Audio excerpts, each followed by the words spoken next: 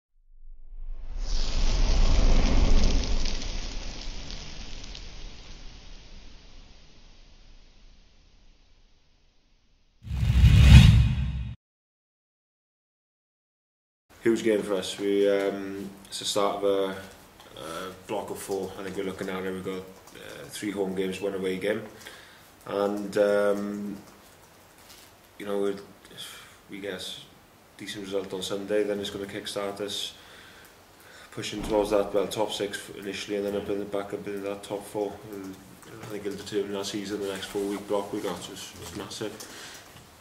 It's, it's a tough game. We had a tough tough game uh, out there in November time against them, which they got the result. Um, but but it's massive for both of us. Like they're they're sixth at the moment, we're eighth, and if we win, we can't we close the gap on them, and it's it's, it's massive, massive game. They've they've been playing really well this year.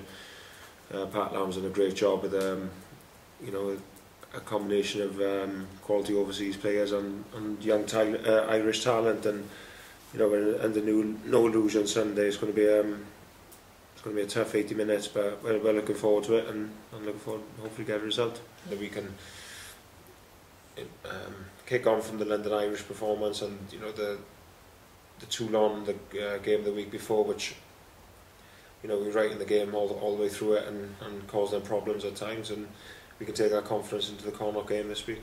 we we set goals as a side this year to, to be the the top Welsh region, which we're currently not, because obviously the Ospreys at the top of the table and uh, we want to be in that top four. So it does put pressure on us that we want to finish as high up the, the table as possible and that's, you know,